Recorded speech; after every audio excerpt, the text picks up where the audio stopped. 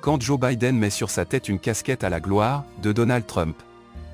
Une séquence vidéo, qui a emballé les réseaux sociaux, montre en effet Joe Biden tout sourire, qui porte déjà une casquette, la recouvrir de cette casquette Trump qu'on vient de lui tendre. Une erreur de communication? Le président Joe Biden a réalisé mercredi un geste que beaucoup n'auraient jamais imaginé, il s'est coiffé d'une casquette rouge Trump 2024, peut-être sans évaluer l'impact immédiat que cela susciterait. Ce moment que le dirigeant américain a sans doute voulu léger ou humoristique s'est de surcroît produit dans une caserne de pompiers de Shanksville, ville de Pennsylvanie où s'est écrasé le vol United 93, le 11 septembre 2001.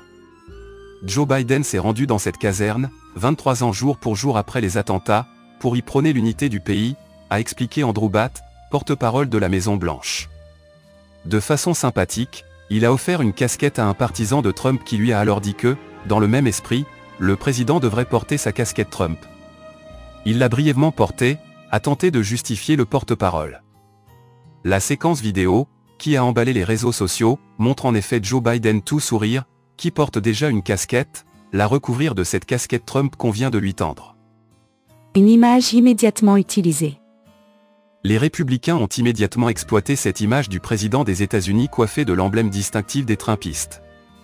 Merci pour le soutien, Joe a publié de façon ironique sur X l'équipe de campagne de Donald Trump.